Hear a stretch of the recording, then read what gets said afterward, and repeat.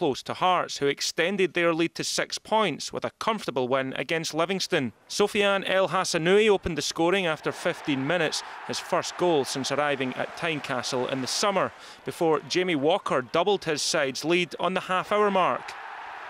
Osman Sow then capitalised on a defensive lapse to make it 3 0 at the break. Hearts were dominant throughout and could have added to their tally before James Keatings fired home from 10 yards in the closing stages. And Sow then completed the scoring in the final minute with his second of the game to emphatically continue his club's unbeaten start to the Championship.